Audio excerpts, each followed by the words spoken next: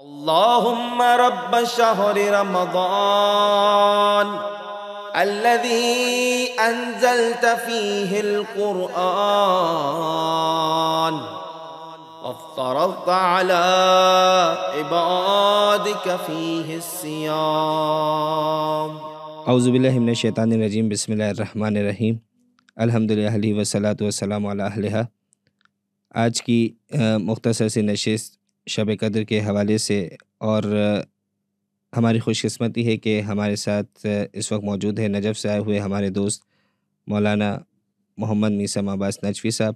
और, इरादा यही है कि कुछ शब कदर के हवाले से डिस्कशन किया जाए। आमाल वगैरह, ये तमाम चीज़ें, अल्हम्दुलिल्लाह हम सब जानते हो मफातुलजनान में ये चीज़ आपको बेहतर अंदाज में मिल भी जाएगी। कोशिश की जाएगी कि कुछ इस शब कदर की फ़जीलत के एतबार से हमारी गुफ्तु हो और जान सकें कि कुरान में मजीद में और क्या ख़ास बात है इस शब कदर में? तो किबला कैसे आप खैरियत से? अल्हम्दुलिल्लाह आपकी दुआएँ आप सुनाएँ कैसे हैं? ठीक है। अल्हम्दुलिल्लाह आपके इंतहा मुतशक्र ममनून है कि आप हमारे प्रोग्राम में तशरीफ़ लाएँ। आपके शुक्रगुजार हैं कि आपने मौका दिया कि हम भी आपके इस खार खैर में शरीक हो सकें और आपके अरमगान नजफ़ के इस प्लेटफॉर्म से अपने तमाम सुनने वालों और देखने वालों को अस्सलाम वालेकुम। अलैहिस्सलाम किबला, हम अपनी गुफ्तु को आगाज़ यहाँ से करते हैं कि जैसे ख़ुद शब कदर के हवाले से जब बात की जाती है तो ये परवदिगार के लुत्फ़ में से उम्मत मोहम्मदी के लिए ख़ास लुत्फ़ हमें नज़र आता है कि जैसे बाज़ रिवायतों में मिलता है कि कुछ परवदिगार के अलताफ़ ऐसे हैं कि जो फ़कत व फ़कत उम्मत मोहम्मदी से मखसूस है।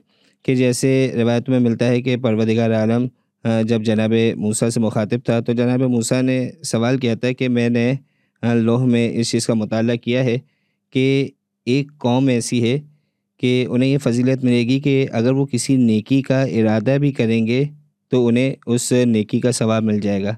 जबकि हमारी कौम के साथ ऐसा नहीं है। तो वो कौन सी ऐसी कौम है कि जिसके बारे में तूने ये इरादा किया हुआ है? इसी तरीके से अगर वो गुनाह का इरादा करते तो उन्हें कोई गुनाह नहीं मिलेगा उस वक्त तक कि जब तक वो उस गुनाह को अंजाम ना दे दे। तो परवदिगार आलम ने उससे फरमाया था कि आ, मेरे आखिरी नबी की उम्मत है कि जिसे ये ख़ास लुत्फ़ मेरी जानब से मिला है। और उन्हीं चीज़ों में जहाँ परवदिगार आलम ने आशूर का तस्करा किया तो एक शब हमें शब कदर के एतबार से भी मिलती है और मुख्तलिफ़ रवायतें इस एतबार से मिलती कि जैसे एक रवायत अल्लाह के रसूल के ज़माने में ही जब रसूल खुदा अपने असाब के सामने चार आबिदीन का तस्करा कर रहे थे कि जिसमें जनाब अयूब, जनाब ज़करिया, जनाब हिस्कील और जनाब यूशा थे कि जिन्होंने अस्सी साल मुसलसल परवदिगार की इबादत में गुजारे।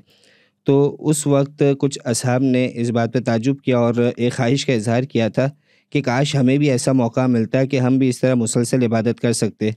तो उस वक्त अल्लाह के रसूल ने अपनी उम्मत से फरमाया कि परवदिगार ने उम्मत मोहम्मदी को भी एक शब दी है, शब कदर के उनवान से कि लई लतुल्क़द्र खैर में नलफ़ार के जो हज़ार महीनों यानी अस्सी साल से भी ज़्यादा बेहतर हो। कितनी बेहतर है? इस हवाले से बयान नहीं हुआ। तो एक बात तो हमें ये मिलती है कि शब कदर उन ख़ास अल्ताफ़ इलाहिया में से है कि जो उम्मत मोहम्मदी से मखसूस है। अगर इस शब कदर के हवाले से बात की जाए कि जिसके बारे में परवदिगार ने फरमाया कि इन्ना अनजलना हो फ़ी लतुल्क़द्र तो यहीं से इसके नाम का भी हमें अंदाज़ा होता है कि लतुल्क़द्र तो ये कद्र के जिसके माने हमें कहीं पे शरफ़ के मिलते हैं, कहीं लगत में अज़मत के हवाले से मिलते हैं। रिवायत में इस एतबार से कोई बात मिलती है कि शब कदर को कदर के नाम से क्यों याद किया गया है? बसमीम जो उनवान आपने इस गुफ्तु के लिए इंतखब किया है ललतुल्क़द्र तो लगती एतबार से यकीनन आपकी बात दुरुस्त है कि इस रात को चूँकि ये रात, कदर वाली रात है, अजमत वाली रात है, शरफ़ वाली रात है, इस वजह से इसको ललतुल्क़द्र कहा जाता है। लेकिन इसके साथ ने दो और वजूहत ज़िक्र की हैं कि जिनकी वजह से इस रात को ललतुल कदर के नाम से मंसूब किया जाता है। उसमें से एक वजह कि जिसकी वजह से इस रात को ललतुल कदर कहा जाता है, वो वजह क्या है? वो वजह यह है कि इस रात के अंदर तकदीर को लिखा जाता है। यानी कि इस साल मिसाल के तौर पर पाँच तारीख को दस तारीख को पंद्रह तारीख को ये रात आ रही है तो इस पंद्रह तारीख से लेकर अगले साल की इस पंद्रह तारीख तक इंग्लिश के अतबार से अगले साल की उसी महीने की पंद्रह तारीख तक जो भी रिस्क के मैटर्स हैं जो भी अमवात के मैटर्स हैं या जो भी जिस भी चीज़ को खुदा मुताल ने आपकी तकदीर में लिखना है, औलाद के एतबार से, बरकतों के एतबार से, उन तमाम चीज़ों को खुदा मुताल इस रात में लिखता है। इस वजह से इस रात को लैलतुल कदर कहा जाता है। यानी जिस तरीके से छठे इमाम की हमारी रिवायत भी मिलती है कि जब पूछा गया था कि शब कदर कौन सी रात है तो उसमें कहा था कि शब उन्नीस है या शब इक्कीस है या शब तेईस तो मौलाना उस वक्त फरमाया था कि जो उन्नीसवीं शब है उसमें तकदीर है और इसी तरीके से इक्कीसवीं शब में कज़ा है और तेईसवीं शब में इब्राहिम यानी मोहर लगाई जाती है। तो इस एतबार से तीन हिस्सों में इसे डिवाइड किया गया। तो इससे पहले कि आप अगली अगर कोई रिवायत है उसकी तब बढ़ें तो एक सरसरी सा ज़िक्र इस हवाले से हो कि इन तीनों जो हिस्सों में डिवाइड किया जा रहा है इससे मुराद क्या है? इससे मुराद तफासिर के अंदर जो लिखा हुआ है वो ये है कि जब चूँकि अहल बैत इस बात को पसंद करते हैं जब इमाम से पूछा गया कि इमाम हम किस रात को शब कदर माने? हती कि हमारे पास एक रिवायत है और बड़ी अजीब रिवायत है कि इमाम ये बताते हुए नज़र आते हैं कि शहर रमज़ान की फ़जाइल क्या है इसके अंदर क्या क्या उमूर अंजाम पाए तारीखी एतबार से और वहीं पर इमाम ये ज़िक्र करते हुए नज़र आते हैं कि छः रमज़ान वो रमज़ान थी कि जिस रमज़ान पर तौरेत को आसमानी किताब तौरेत नाजिल बिल्कुल। उसके बाद इमाम बताते हैं कि ज़बूर जो है वो अठारह रमज़ान को नाजिल हुई और बारह रमज़ान को इंजील नाजिल हुई। बिल्कुल। हदीस यहाँ पर चलती है यानी कि एक एक आसमानी किताब किस तारीख को नाजिल हुई ये इमाम बता रहे हैं। और यहीं पर मैं रुक कर सिर्फ़ इतना सा कहना चाहूँगा कि ये वाक़ता वही लोग बता सकते हैं कि जिनके पास इल्म हो माकान का और मा यकून का। बिल्कुल बिल्कुल। कि जो ये बता सकें कि किस नबी पर कौन सी किताब कब नाजिल हुई है। इमाम ने सबूर की तारीख भी बताई। इमाम ने इंजील की तारीख भी बताई इमाम ने तौरेत की तारीख भी बताई। लेकिन जब कुरान की बात आई तो इमाम ने कहा और रमज़ान शहर रमज़ान के महीनों में से एक रात ऐसी है कि जिसे हम लैलतुल कदर कहते हैं जिस पे कुरान नाजिल हुआ। यानी कि जिस इमाम को ये मालूम है कि आसमानी चार किताबों में से तीन किताबें किस रात को नाजिल हुई उसे यकीनन मालूम है जी इस हवाले से जैसे इंशाल्लाह आगे बढ़ के रिवायतें भी डिस्कस होगी कि ख़ुद अहल बैत इस हवाले से जानते या नहीं जानते। तो इसमें यानी ये कि तकदीर और यहाँ पे यानी दो चीज़ें बेसिकली हमारे सामने आ रही है और आम तौर पे सामीन के जहन में भी ये सवाल रहता है, कज़ा कदर एक बहस है कि बसा अवत ऐसा महसूस होता है कि आम अशास उस बहस के बारे में सुनना चाहते हैं, लेकिन यानी हमारे माशरे के अतबार से कहा जाए जो हम पर एक एतराज़ होता है कि इस गुफ्तु को कत नज़र करते या इससे बात करने से डरते हैं। तो क्या वाकई वाक़ डरते या इसके पीछे कोई रीज़न है कि इसके हवाले से बात नहीं की जाती है? बेशक ऐसा ही है कि इन मौजूद पर गुफ्तु करने से डरते हैं और उनका ये डरना उनकी कम इलमी की वजह से नहीं है, बल्कि उनका ये डरना इस वजह से है कि ख़ुद अहल बैत ने कज़ा कदर के मामला में पढ़ने को मना किया है। यानी इमाम ने तशवीक दिलाने की खातिर कि तुम तीनों रातों में अमाल को अंजाम दो, ये बात कही है कि उन्नीसवीं रमज़ान के अंदर तकदीर को लिखा जाता है। शब इक्कीस को इस चीज़ों को कज़ान तय किया जाता है और आखिरी जो शब तेईस की रात है, शब कदर की, उसके अंदर इब्राम किया जाता है। लेकिन ये कज़ा क्या है? या कदर क्या है, इसके अंदर क्या क्या चीज़ें डिफाइंड हैं और क्या क्या चीज़ें अनडिफाइंड हैं, जब इसके बारे में इमाम से पूछा जाता है तो इमाम हमेशा ये कहते हुए नज़र आते हैं कि कज़ा कदर परवरदिगार के ख़ास राजों में से हैं और इसमें जितना ज़्यादा गौताजन होगे, उतना गुमराही की तरफ़ बढ़ते चले जाओगे। चलिए तो दो बातें होगी। अब तीसरी जो हिस्सा है इसका, उसकी जानब अगर देखें इब्राहिम का जो लफ्ज़ यूज़ हुआ है, बाज़ रिवायतों में महतूम कहा गया है, यानी मोहर लगना। तो इस मोहर लगने के अतबार से क्या मरद यानी इंसान अब हाथ पे हाथ धरे बैठ जाए कि कुछ हो ही नहीं सकता, जो होना था वो हो गया, या नहीं? अभी भी कुछ बेहतरी के चांस बाकी है, या मिसाल के तौर पर अगर कुछ ख़राब हो गया है तो उसका मदावा करने के चांसेस है यानी जो था वो हो गया, अब कुछ भी इंसान के इख्तियार में नहीं रहा, ये इंसान मजबूर हो गया। इस सिलसिले में मैं इतना अर्ज़ करना चाहूँगा कि हमारे पास दो चीज़ें हैं, एक है गुनाहों की माफ़ी और एक है आइंदा की ज़िंदगी के अंदर कुछ बेहतरी की तो करना। जहाँ तक गुनाहों की मगफरत के ताल्लुक है तो वो ये रात गोल्डन रात है कि जिसमें आप अपने तमाम तर गुनाहों की माफ़ी मांग सकते हैं। यानी गोल्डन अपॉर्चुनिटी गोल्डन अपॉर्चुनिटी है। अगर आपने इस रात को मिस किया तो अब हमारे पास ये रिवायत आती है कि ये अब मौका गुनाहों की माफ़ी का मौका अगर किसी शख्स को मिलेगा तो उस शख्स को मिलेगा जो मैदान अराफात में हज के अयाम में मौजूद है। जी बिल्कुल। और भी हमारे पास रिवायात हैं कि जो गुनाहों की माफ़ी की तरफ़ इशारा करती हैं लेकिन आमाल और रातों के अतबार से ये रात शब कदर की और उसके बाद अरफा का दिन, कि जिसमें यह मौका उस बंदे को मिलेगा कि जो मैदान अरफात में है।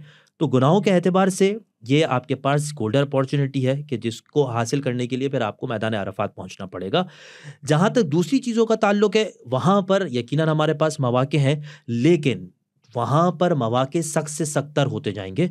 यानी कि जितनी आसानी से इंसान खैर बरकत इस रात के अंदर हासिल कर सकता है, उतनी आसानी से अब उसको बाद में मौका नहीं मिलेगा। यही वजह है कि इस रात के जो आखिरी शब कदर का अहतमाली रात है, उसको इब्राम की रात से ताबीर किया जा रहा है कि यहाँ पर तुम्हारे लिए जो तुमने कोशिशें की हैं उस पूरी रात के अंदर, उसको हतमी शक्ल दी जाएगी। एक अंदाज में एंड ऑफ़ ईयर सेल है। कि सेल लगी है, अब बंदा इंतज़ार करता रहे कि दोबारा इस अंदाज कोई सेल लगे तो बिल्कुल कुछ फ़ायदा उठा सके। यानी बंदे के पास इख्तियार मौजूद है लेकिन इतना आसान अब उसके लिए नहीं रहा कि पहले जितना आसान हो सकता था खुद शब कदर में। यानी एक अंदाज में अगर बात समझने के लिए देखा जाए तो लोहे महफूज की शायद बात ना हो लोहे महफूज सब के अतबार से कि जहाँ बहरहाल गुंजाइश रहती है। अच्छा ये तो एक रिवायत हो गई जो एक और मतलब इसके अलावा भी क्या कोई मतलब हमें या इसका मानी मिलता है शब कद्र के बिल्कुल शब कदर के अतबार से आयमा ने हमें तशना नहीं छोड़ा है और मुख्तलिफ़ मकाम पर बार बार लैतुल लैतुल के अतबार से जो जो भी बातें बयान की जानी चाहिए थी उनको वक्ता फ़वक्ता आयमा ने अपनी पूरी ज़िंदगी में बयान किया है जिनमें से हमारे पास एक और वजह कि जिसकी वजह से इस रात को कदर की रात कहा जाता है। रसूल खुदा से मंसूब है ये रिवायत कि जिसमें अल्लाह का रसूल कह रहा है कि मन काम लैलतुल कदर जो कोई भी लैलतुल का अहतमाम करता है गफ़र अल्लाह लहू मा तकद्दम खुदावंद मुताल उसके तमाम के तमाम गुनाहों को बख्श देता है। लेकिन इसके अंदर अल्लाह के रसूल ने दो शर्तों को ऐड किया और वो दो शर्तें क्या है? वो दो शर्तें ये है कि ईमानन व एहतसाबन। इन दो शराइत के साथ अगर कोई काम करता है और ये ऐसा नहीं है कि ये शर्तें आपको सिर्फ़ यहाँ पर नज़र आएँगी बल्कि मुख्तलिफ़ अहादीस मिलेंगी आपको। इसमें छोटी सी मिसाल देता हुआ चलूँ कि- चूँकि बहरहाल मेरा ताल्लुक नजफ़ अशरफ से है और करबला हमारी ज़्यारत ज़्यारत के लिए जाना होता है तो मैं सिर्फ़ एक छोटी सी बात का ज़िक्र यहाँ पर करता चलूँ कि क्या इमाम हुसैन की तरफ़ जाने वाला हर कदम बढ़ने वाला हर कदम ज़्यारत पर जाने वाला हर कदम इस बात का तकाजा रखता है कि उसके तमाम गुनाहों को बख्श दिया जाए। मारिफत है। तो वहाँ पर जुमला आता है इमाम का हक का मारिफत ही। और जब इमाम से सवाल किया गया कि हक का मारिफती से मुराद क्या है तो इमाम ने कहा कि अपना कम अज़ कम मारिफत का ये दर्जा तय करके ये शख्स जाए ज़्यारत के लिए कि ये जिस शख्स की मैं ज़्यारत पर जा रहा हूँ ये मफरूज़ ता है। यानी कि तमाम इंसानों के अंदर मैं इन आयमाए अरबताशर को इस इन चौदह मासूमीन को किस कैटेगरी पे खड़ा कर रहा हूँ कि ये मफरूज़ ता है बाकी इंसानों की नस्बत इनकी बात मानना मेरे लिए वाजिब है। यानी काफ़ी सारे सवाल के जवाब इसमें मिल जाते हैं कि जैसे बहुत से लोग आज़ादारी के अतबार से भी एतराज़ करते हैं कि कूफे वाले भी रोए थे आप लोग भी रोते हैं क्या फ़र्क पड़ता है? बेशक ऐसा या इसी अंदाज में कि दूसरे फ़िरके के दूसरे मज़ाहब के लोग भी करबला जा रहे हैं उनके जाने में और आपके जाने में क्या फ़र्क है? तो बात यही है कि हमारा जो जाना है वो अहल बैत के इस हक़ की मारिफत को रखते हुए कि सैद शौदा इमाम बरहक थे और हम ज़्यारत पे जा रहे वो उनको इमाम मफरूज़ ताम मानकर नहीं जा रहे थे तो एक ये हमें तो इसका जवाब मिल जाता क्या मिलेगा? इस यारत के बदले में और क्या नहीं मिलेगा? ये अनदर टॉपिक एक है अलग टॉपिक है बहरहाल हमारा हमारी गुफ्तु शब कदर के हवाले से लेकिन खुद सरकार सैदुलशहदा की ज़्यारत का तस्करा इस एतबार से भी ज़रूरी था कि इस शब के बेहतरीन अमाल में से एक सैदुलशहदा की ज़्यारत और और हमें जितने ओकेजन्स मिलते हैं बेशक मैं यहाँ पर सिर्फ़ ये कहना ज़रूरी समझता हूँ कि सिर्फ़ शब कदर नहीं बल्कि ये अजीब रविश है खुदा खुदावंद मताल की कि खुदा खुदावंद मताल के नज़दीक सबसे बड़ी शख्सियत अल्लाह के रसूल है हबीब खुदा है।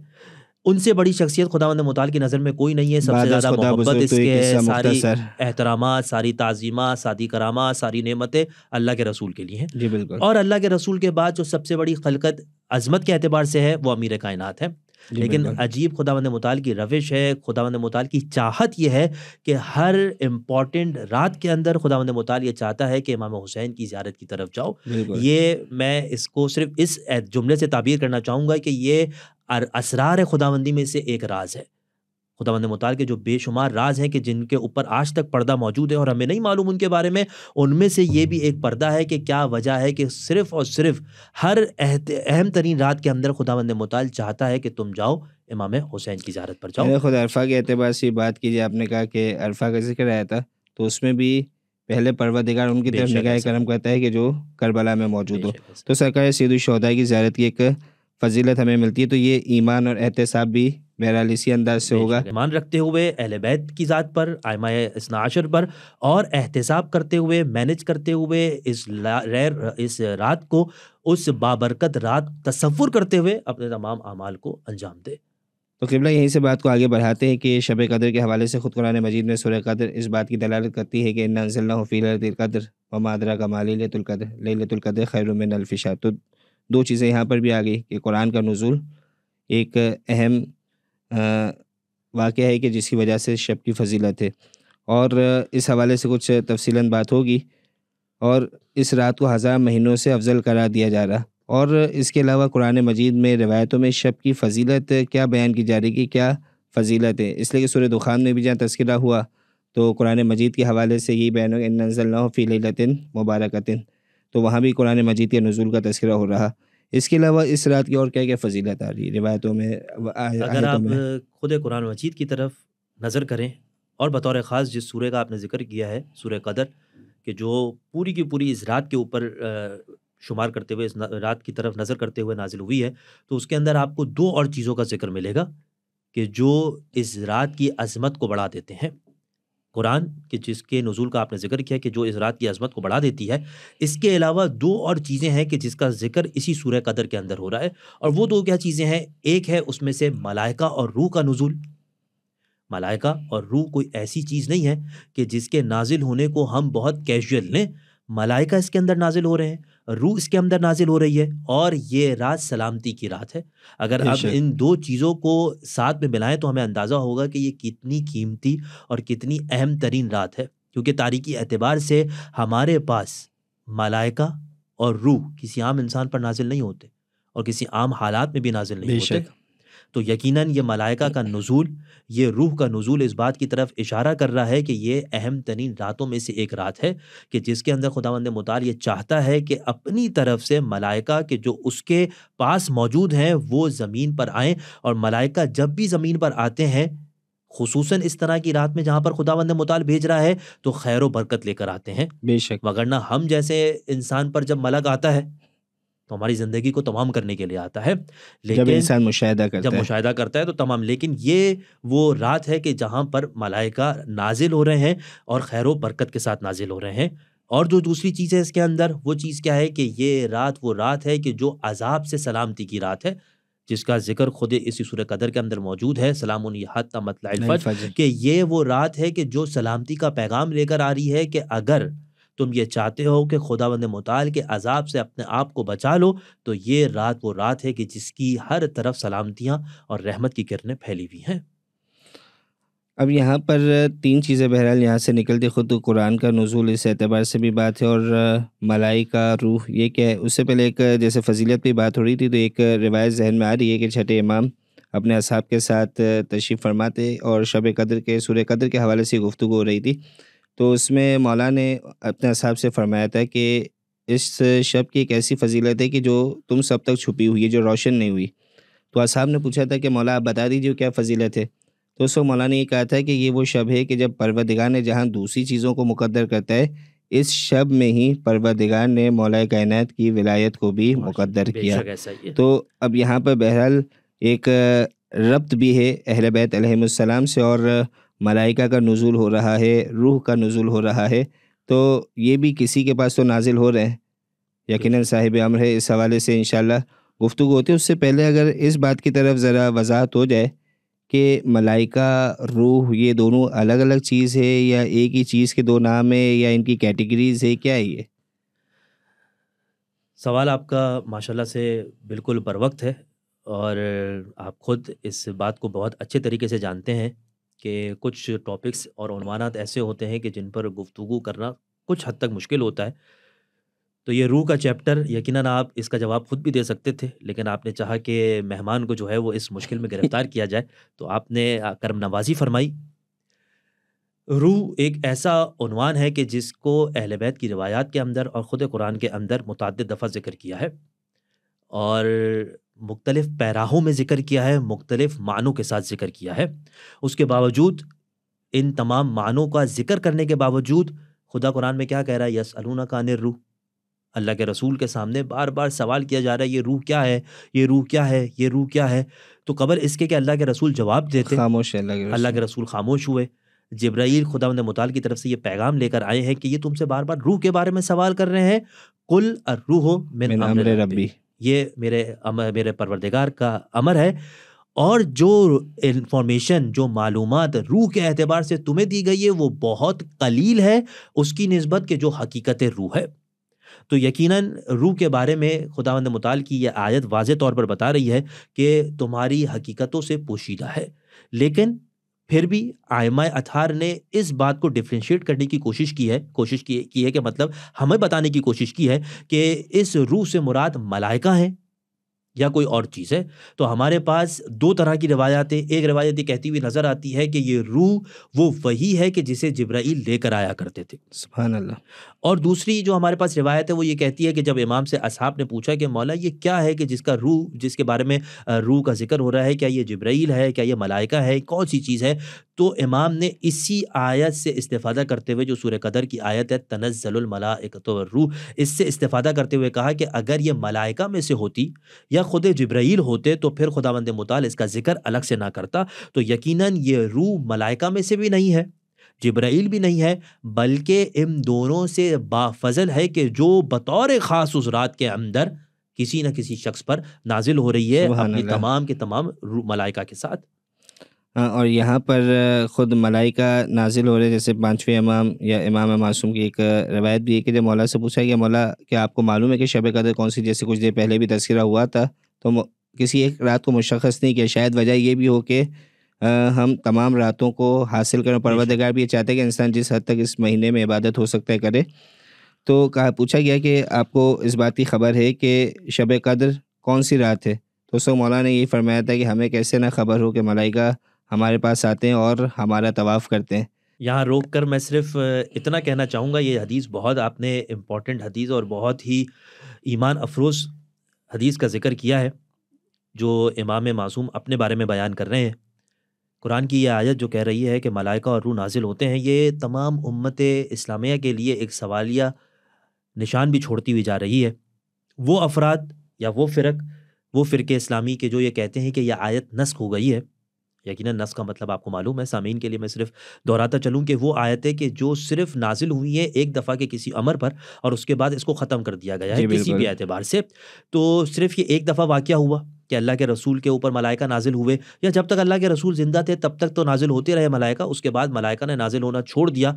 उन फ़िरकों से ये सवाल नहीं है हमारा क्योंकि वो नस के कायल हैं। वो इस आयत के ख़त्म होने के कायल हैं तो वो साबित करेंगे कि वो अपनी किस चीज़ के ज़रिए से ये कहते हैं कि ये मलाइका नहीं आते और ये आयत नस्क हो चुकी है। लेकिन वो फ़िरक इस्लामी जो कहते हैं कि ये तनजुल मलाइकतों का मतलब ये है कि अब भी मलाइका नाजिल हो रहे हैं तो मलाइका किसी पर नाजिल हो रहे हैं या कोई शख्स मलाइका के हुजूर जा रहा है? जो बेशक। बाअजमत होता है वो अपनी जगह पर रहता है। और जो कम अजमत लोग होते हैं वो, वो उसके पास आते हैं।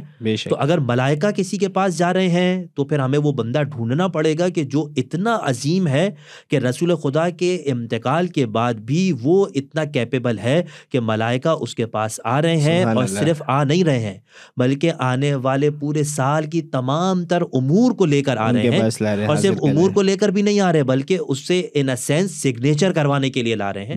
यानी कि ये शख्स इतना ज़्यादा बाअसमत होना चाहिए कि जो मलाइका अल्लाह के रसूल पर नाजिल हुआ करते थे और उसके बाद नाजिल होना रुक गए हैं, वो मलाइका इस शख्स पर शब कदर के रात, शब कदर की जो अहम तरीन रात है, इस पर नाजिल हो रहे हैं और ना सिर्फ़ नाजिल हो रहे हैं, बल्कि अपने तमाम उमूर को जो खुदा मंद मताल ने उनके सुपुर्द किए हैं, उन्हें लेकर आते हैं और इम्ज़ा करवाते हैं। सुबह अल्लाह यानी ये कहा जाए कि या तो इमाम ज़माना के वजूद का इकरार कर लें या शब कदर को मानना छोड़ दें। ना सिर्फ़ ये कि इमाम ज़माना के वजूद का इकरार कर लें या शब मकदर मनाना छोड़ दें, बल्कि अजीब रिवायत है इमाम सादिक से। और इमाम सादिक से रिवायत यह है कि अगर तमाम इस्लामी महीनों के अंदर इस शहर रमज़ान को उठा ली, शहर रमज़ान, और इस शहर रमज़ान की ये एक रात, जिसे हम शब कदर कह रहे हैं, इस रात को उठा लिया जाए तो गोया ऐसा है कि कुरान ही इस ज़मीन से उठा लिया गया है।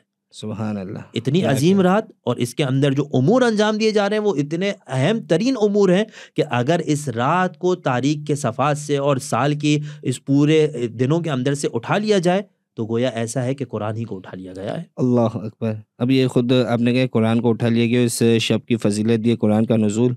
लेकिन हम अगर तारीख़ में देखते हैं तो एक सिलसिला तो हमें वो नज़र आ रहा है कि तेईस साल के अरसे में कुरान मजीद नाजिल हो रहा जहाँ इकरा बिस्म रबिकल्लदी खलक से शुरू होकर साल साइल वाक़े पे सिलसिला जाकर ख़त्म हो रहा है। तो क्या इस तेईस बरस के अरसे में कुरान नाजिल हुआ, जबकि शब कदर के हवाले से जो आयत है, दीगर आयत का जो एक मिजाज नज़र आ रहा कि ये एक वक्त में कुरान नाजिल हुआ। तो इस एतबार से इन दोनों में क्या फ़र्क है, नज़ुल के अतबार से? इसका जो जवाब देते हैं, क्योंकि सिर्फ़ हमारे पास ये मसला नहीं है, बल्कि हम मज़हब तशैय पर एक और इश्काल ये पैदा करते हैं लोग कि जब कुरान नाजिल ही तेईस साल के अरसे में हुआ है तो फिर तीस आमुलफ़ील को एक बच्चा खाना काबा से जब बाहर आया सुबह अल्लाह क्या तो उसने जब उन्होंने जब रसूल खुदा ने फरमाइश की उस बच्चे से कि कुछ सुनाओ तो उन्होंने ये कहा मैं तौरेज में से सुनाऊँ जबूर में से सुनाऊँ इंजील में से सुनाऊँ या कुरान में से?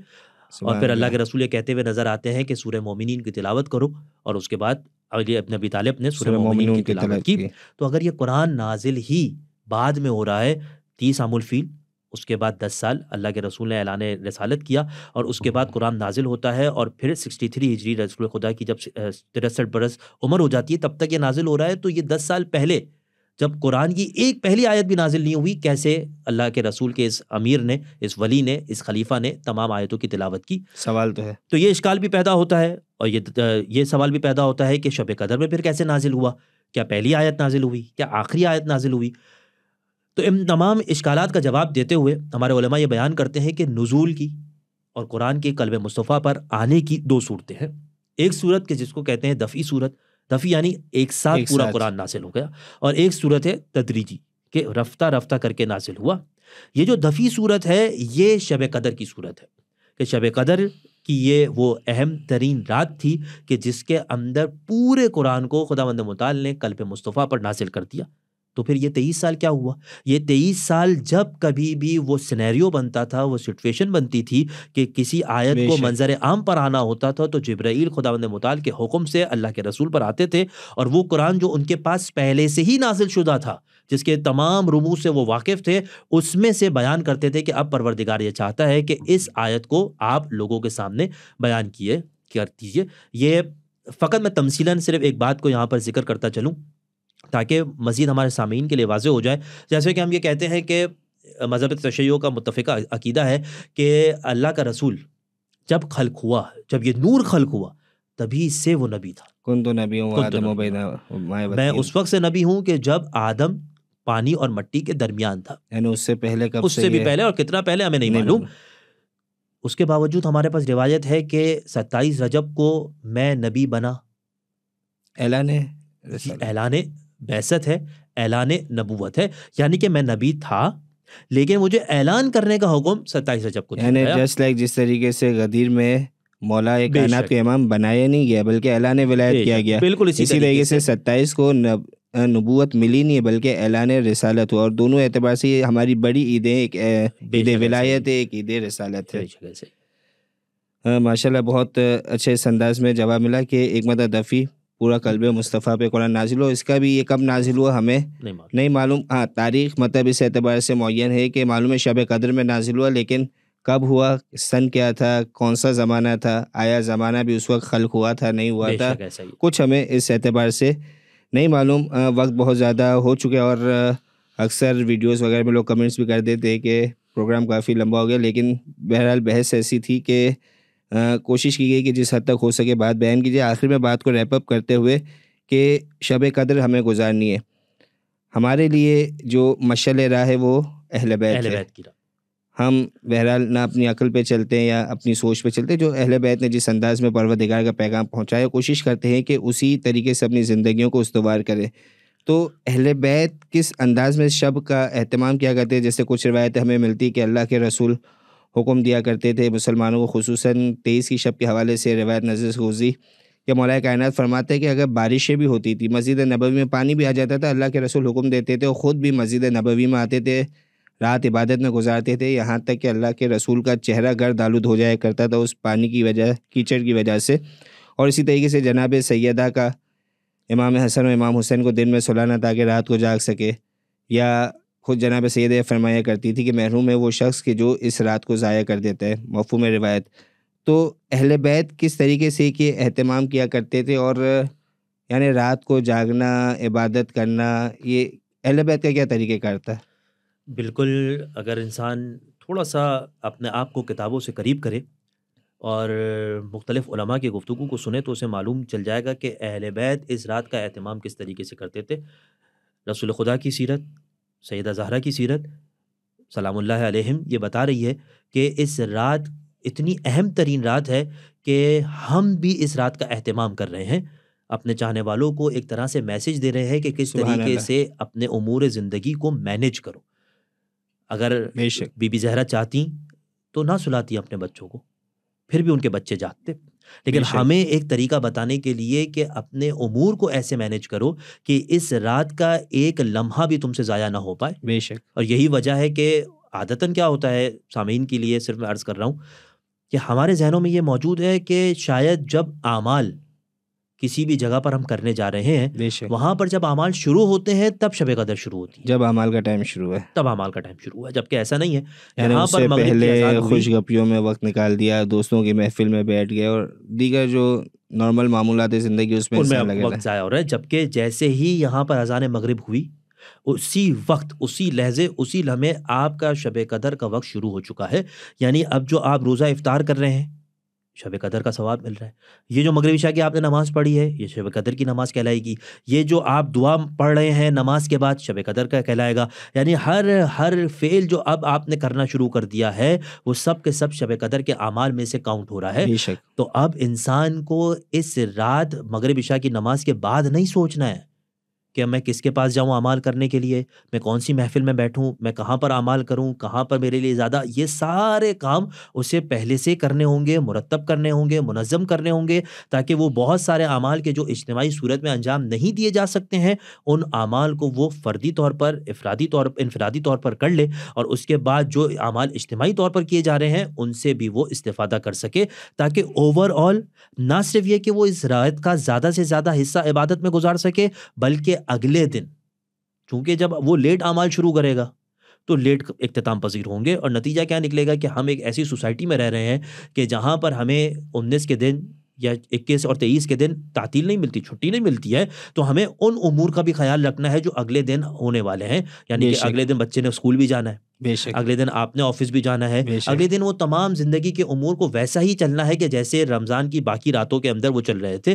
तो इंसान अपने आप को इस तरीके से मुनज़म करे कि जिस तरीके से वो बेहतर इस्तेफादा भी कर सके और अगले दिन के उसकी जो उमूर ज़िंदगी है वो भी मअतल ना हो सके। लेकिन अगर कोशिश करे अगर हो सकता है एक दिन की कुर्बानी दे सकता है वो तो कुर्बानी देते हुए ज़्यादा से ज़्यादा वक्त इस रात के अंदर जाग कर गुजारे। और यकीनन ये बात किसी से पोशीदा नहीं है कि जाग कर गुजारने का मतलब कती तौर पर यह नहीं होता है कि ऐसे कामों में अपने आप को इन्वॉल्व रखे कि जिन कामों का ना कोई फ़ायदा है ना कोई नुकसान है। लगवियात से दूर रहो। लघवियात से यानी कि लघवियात से दूर रहते हुए बेहतरीन तरीके से इस रात को जागने की हालत में गुजारे। और बस यहाँ पर मैं एक छोटी सी बात करता हुआ अपनी गुफ्तगू को आखिरी मराहल में दाखिल कर दूँ कि जितना हो सके यकीन यह अमाल की रात है। बेहतरीन तरीके से अमाल करे लेकिन अपना रब्त अहल बैत से जितना मज़बूत कर सकता है एक चीज़ का ज़िक्र हुआ ज़्यारत आशूर ज़्यारत इमाम हुसैन। इसके अलावा भी जहाँ जहाँ भी पॉसिबल वेज में वो ये कर सकता है कि अहल बैत से अपने रब को मज़बूत करें। सिर्फ़ छोटी सी मिसाल दे दूँ मैं। इमाम ज़माने के नज़दीक इमाम ज़माना की दुआ पढ़ सकता है। अगर कोई अमल अंजाम दे रहा है जैसे कि हमारे पास शब तेईस के अमाल में से एक अमल है कि सूरों को पढ़े सूर्य दुखान को पढ़े। अगर ये सूर्य दुखान पढ़ रहा है तो बीबी जहरा को हदिया करे सलाम को हदिया करे। सूर्य रूम पढ़ रहा है सूर्य अनकबूत पढ़ रहा है तो ये आयमा इसनाशर को हमारे बारह इमाम को चौदह मासूमीन को हदिया करे किसी न किसी एतबार से अपने हर अमल को अहल बैत से जोड़े। क्यों जोड़े? उसकी वजह क्या है? उसकी वजह यह है कि हर वो चीज़ कि जो अहल बैत से मुंसलिक हो जाएगी वो दायमी हो जाएगी। अल्लाह क्योंकि अहल बैत दायमी है ये चीज़ें भी दायमी तो ये भी दायमी हो जाएँगी और जब ये चीज़ें दायमी हो जाएँगी तो इनका जो असर खुदावंद मुताल ने रखा है वो भी आपको अपनी ज़िंदगी के अंदर नज़र आएगा। माशाल्लाह आपने बड़े खूबसूरत अंदाज में सामीन को पैगाम दिया। यहाँ पर आखिर में मैं बस इतना अर्ज़ करना चाहूँगा कि जहाँ अपने अमाल वगैरह अंजाम दे रहे हैं दुआएँ कर रहे हैं इस्तफ़ार कर रहे हैं, वहाँ पर आप हमें भी दुआओं में याद रखिएगा और दीगर जितने मोमिन हैं, आपके रिश्तेदार है, पड़ोसी है, दोस्त अहबाब है और जो इस दुनिया से गुजर चुके वो भी हमारी दुआओं के मोहताज है। तो आप कोशिश कीजिएगा कि जितने लोगों को इन दुआओं में शामिल कर सके, उतनों को शामिल कीजिए और बस मैं आखिरी एक जुमला माजरत के साथ आपकी इजाज़त से ये कहना चाहूँगा कि यकीनन दुआ दूसरों के लिए करना बहुत ही ज़्यादा अहम तरीन अमर है। आपकी दुआओं को बूस्ट लगा देता है कैटलिस्ट का काम करता है। यानी कि जब दुआ का मरहला आता है तो अभी सैदा ज़ारा के भी वाक़यात हैं उन हदीस को मुझे ज़िक्र नहीं करना है। लेकिन जब आप दुआ करें तो अपने तमाम दोस्तों को रिश्तेदारों को याद रखें उनके लिए दुआ करें। इसका हतमी एक फ़ायदा ये होगा कि जब खुदावंद मुताल देखेगा कि आप दूसरों के लिए दुआ कर रहे हैं तो आपकी भी तमाम दुआओं को खुदावंद मताल कबूल करेगा। हर वो शख्स के जिसके दिल में अलीब नबी तालिब की मोहब्बत है, दुश्मनान ज़हरा का बुग्ज़ है, ज़माने का इमाम का इंतज़ार कर रहा है, और उनका मुंतज़र है, उन तमाम को अपनी दुआओं में याद रखिएगा और कोशिश कीजिएगा कि उनके लिए बेहतरीन से बेहतरीन दुआएँ कर सकें। हर वो चीज़ के जो वो चाहते हैं, उनके हक़ में जो आपको मालूम है, उनको उस दुआ में शामिल करें। और यहाँ पर मैं बस एक छोटी सी बात और करना चाहूँगा। माजरत के साथ ताख़ीर बहुत हो चुकी है कि जिस प्लेटफॉर्म से हम ये तमाम गुफ्तु सामीन तक पहुँचा रहे हैं यानी कि इससे मुराद सोशल मीडिया नहीं है बल्कि ये जो आपका अरमान नजब का प्लेटफॉर्म है वो हमारे वो तमाम अफराद के जो कैमरे के बैक साइड पर रहकर कुमुक कर रहे हैं मदद कर रहे हैं उन तमाम को जिस तरीके से ये इदारा चल रहा है जितने भी अफराद यहाँ पर मौजूद हैं कि जो कहीं ना कहीं किसी न किसी एतबार से अपनी खिदमतों को अंजाम दे रहे हैं ताकि ये प्रोग्राम और ये तमाम चीज़ें मुनज़म अंदाज में लोगों तक पहुँच सकें ये इल्म की बातें मुनज़म अंदाज में पहुँच सकें उन तमाम को बतौर ख़ास अपनी दुआओं में याद रखिएगा